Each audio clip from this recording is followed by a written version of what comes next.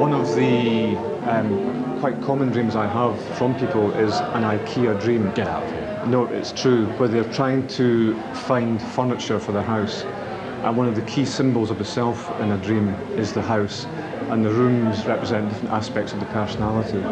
So before, maybe a few years ago, before IKEA was popular, people would go elsewhere to shop for their furniture.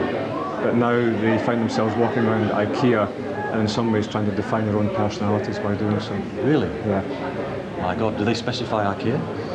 It's, there's something about the IKEA experience when you go in, you're kind of led along a journey. Right. And it's very hard. It's a dreamlike state almost, It is, it is a dream. And you state. can't, in a way, you can't pull yourself from it. No, there's always that shortcut through kitchens, but But your legs won't take you there. they won't take you No. there. Yeah. Thank you.